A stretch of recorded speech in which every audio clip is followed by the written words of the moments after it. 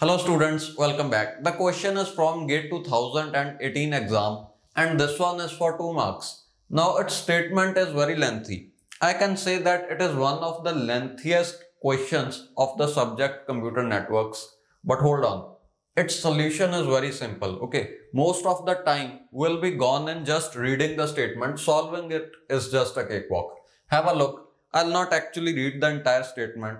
Instead, now I'll display a image. You can read the question if you want to. Anyways, I'm going to explain it. They are saying in a simple computer network, a common shared medium is used. Okay. That means each and every node will sense the channel before sending any data. For example, if P wants to send some data, they are saying that P will sense this channel for 5 time units. And in beginning of the next time unit, P will start sending data. So P will sense the channel for 5 time units and in the 6th time unit, starting of the time unit, P will send that data.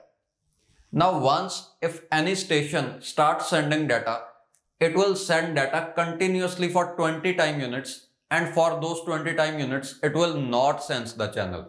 That means once P has started sending data, it will stop sensing it. So there is a possibility that if two stations start sending data at same time, so there will be a collision and it will go undetected. Okay, this is what they are saying in question.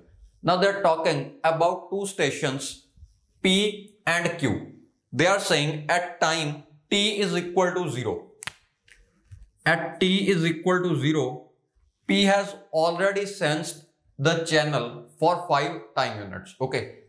That means at this time, P is ready to start transmitting. It has seen that channel is empty at this time. Okay. At the same time, that means at time T is equal to 0, Q is just about to sense the channel. So at t is equal to 0, Q will first sense the channel for 5 time units and then it will start sending. They are asking what is the maximum distance between P and Q such that collision will not occur. Also, signal speed is given as 10 meters in every time unit. They haven't mentioned what this unit is. It can be a second, one hour or whatever. We don't care. It is one time unit. Okay. In this one unit, signal will travel 10 meters. Okay. This question is really simple. You just concentrate for two minutes and you'll get its answer. See, at time t is equal to 0, P will start sending the signal because it has seen that channel was empty for 5 time units. At time t is equal to 0, Q will start sensing the channel and it will sense the channel for 5 time units. That means till t is equal to 5. Okay. In beginning of the next time unit, it will start sending the data. Now, if throughout this time from t is equal to 0 to t is equal to 5, if throughout this time the channel is empty Q will think that entire channel is empty. That means no one is sending data and Q will also start sending. Okay. And there will surely be a collision. That means between this time only from t is equal to 0 to t is equal to 5 the first bit of this packet the packet that was transmitted by p its first bit must reach this point okay between this time only because if this happens then Q will see that someone is sending data. That means the channel is busy and Q will wait. So Q will not send the data and collision could be avoided. Okay. Now we want that starting from T is equal to 0, first bit of this packet, the packet that P is trans uh, transmitting, it must reach this point within this time. Okay. So we can have maximum of 5 time units delay for the signal to start from here and reach till here. Okay, let us see how much distance can it travel in 5 time units.